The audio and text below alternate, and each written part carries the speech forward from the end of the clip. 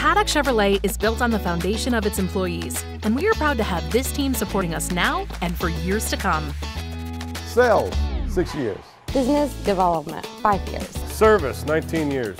Since 1935, we have been serving the automotive needs of our friends and family in Western New York. Whether you're buying a new car or servicing your current vehicle, the Paddock team is committed to great savings, quality service, and making you a customer for life.